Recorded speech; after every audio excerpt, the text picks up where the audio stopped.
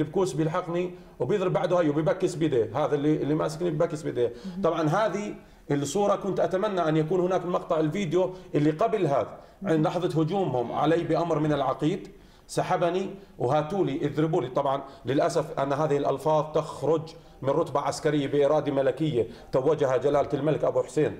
بإرادة ملكية يخرج ويقول لهم طبعا بعد أمرنا بالعودة إلى المنازل قلنا له أن اعتصامنا شرعي ضمنه لنا الدستور وضمنته لنا منظمة حقوق الإنسان المشاركة فيها في الأردن وكانت بين أيدينا يعني منظمة حقوق الإنسان منشور منظمة حقوق الإنسان وكنا نعرضه عليه. وهذا زميلي الشيخ خالد أبو دولة وجه له التحية يعني مسك بلحيته وقال له ستدنس لحيتك تحت قدماي.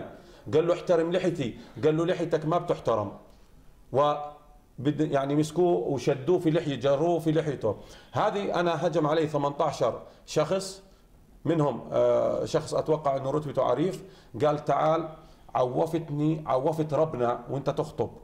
هذه الكلمة تقال من رجل أمن. أقولها لمدير الأمن العام. هذا من رجل أمن عندك. غير الألفاظ اللي يعني بذيئة بحقنا. يا أولاد وألفاظ لا تقال على الشاشة.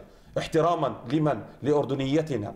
وأنا في كل خطاباتي وفي كل مهرجاناتي الأدبية أقول كل أردني هامة كل أردني قامة إلى أن وجدت إنه يقال لي بدنا نركعك.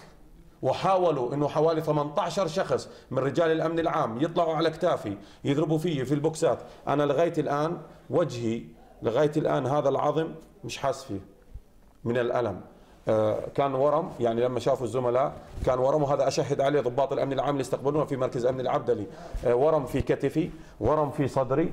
معدتي من كثر بجريهم في البساطير. اجريه طبعا جروني على الأرض زحفا تقريبا حوالي 10 متر قبل أن أستطيع أن أقوم. يعني عندما ركبوا على أكتافي ويضربوا فيه في البوكسات واحد في خوذه ضربني هون على راسي وراح أربيك يقول لي. لا أدري إن كنا نحن المربين نحتاج إلى تربية. هذه